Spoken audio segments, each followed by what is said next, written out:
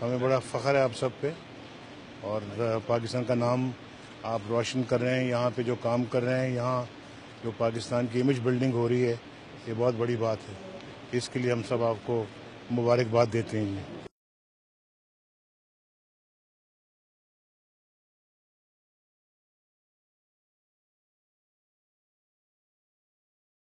में atomic energy commission के मुख्तलिफ़ जो अदारे हैं, जैसे हमारा एच एम सी थ्री है टेक्सला में जिस तरह हमारी लेज़र की लेबॉरेटरीज वगैरह हैं उन सबने बहुत सारा काम किया सन के लिए। आप जाएँगे तो आपको मुख्तलिफ़ जगह पे पाकिस्तान का झंडा लगा हुआ नज़र आएगा।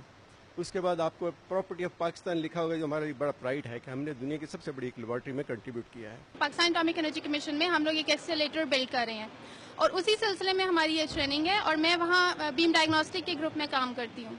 पाकिस्तान के लिए इसमें इस पॉइंट ऑफ़ व्यू से बहुत फ़ायदा है कि जो टेक्नोलॉजी है एक्सलेटर साइंस की और जो हम पाकिस्तान के अंदर भी लीनियर एक्सलेटर बना रहे हैं, जो कि मेडिकल पर्पज के लिए भी यूज़ होता है। वो टेक्नोलॉजी ट्रांसफ़र हो रही है। फिर हमारे लोग यहाँ पे आएँगे, वो यहाँ पे ट्रेन होंगे, जो लेटेस्ट टेक्नोलॉजी के साथ प्ले करेंगे। फिर वहाँ पर जाकर वो, उनके पास ऐसी स्किल्स होगी और ये टेक्नोलॉजी अगर हम अपने पाकिस्तान में इंट्रोड्यूस करते हैं तो हमारे पास अपने ट्रेंड लोग होंगे कि हम ये चीज़ें वहाँ पर इनसे इस्तेफादा हासिल कर सकते हैं। जब हम देखते हैं कि हमारा मुल्क इतनी बड़ी ऑर्गेनाइजेशन में इतनी अच्छी तरह उसका नाम लिया जाता है तो हमें बहुत ज़्यादा फ़ख्र फील होता है। सैंड की अब कोलेबोरेशन पाकिस्तान एसोसिएट मेंबर बन गया है तो अपॉर्चुनिटीज़ बहुत ज़्यादा हैं और सबसे ज़्यादा जो इफ़ेक्ट होता है वो हमारी टेक्नोलॉजी पर और हमारी एजुकेशन पे है। पाकिस्तान के साइंटिस्ट यहाँ पे मुख्तलिफ़ एक्सपीरियंस में काम कर रहे हैं जिस तरह की सी एम एस है एन सी पी के साथ कोलेब्रेशन है उनकी और इसी तरह एलिस एक्सपेरिमेंट है जो कॉमसेट्स के साथ उनकी कोलेब्रेशन